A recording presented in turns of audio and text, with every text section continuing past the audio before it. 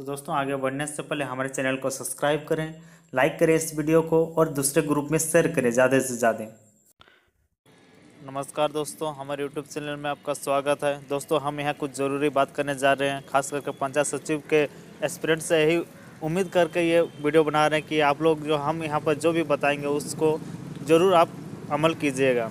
चलिए लास्ट तक सुनते हैं, क्या कुछ ज़रूरी जानकारी है, इसको भी बताते हैं।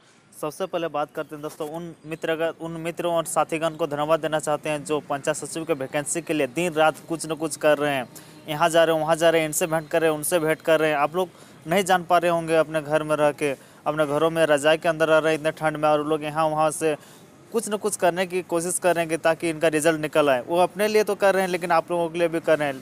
तो आप लोगों को तो एक रिक्वेस्ट ज़रूर है दोस्तों, आप सभी से कि तीन जनवरी 2020 को रांची के मोरावदी के सामने या कह सकते हैं रांची कॉलेज के सामने जो अब श्यामा प्रसाद मुखर्जी यूनिवर्सिटी बनी है, उसी के सामने ऑक्सीजन पार्क है, वहाँ पर एक मीटिंग रखी गई है।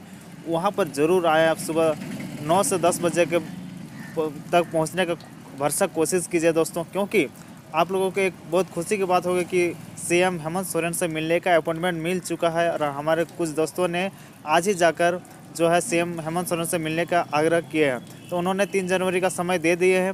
और हम लोगों को भारी, यानी पंचायत सचिव के जितने अभ्यर्थी हैं, उन लोगों को पाँच हज़ार स्टूडेंट से ज़्यादा हो सके और यहाँ से स्टूडेंट ला के लड़के ला के वहाँ इकट्ठा करके भारी दबाव बनाना ज़रूरी है, क्योंकि अभी नई सरकार बनी है और जितने वैकेंसी पुरानी है, उस पर रिव्यू कर रही है और इस पर क्या कुछ किया जाएगा? इस पर भी डिसीज़न सरकार लेने को वाली है। सरकार, ये तो बात सही है दोस्तों कि हाई कोर्ट पे मामला दर्ज है, लेकिन सर, ये सब कुछ सरकार के वकील पे डिपेंड करता है कि वो, और इस पर कहीं ना कहीं सरकार पर भी डिपेंड करता है, सरकार की क्या राय है, सरकार की क्या मनसा है।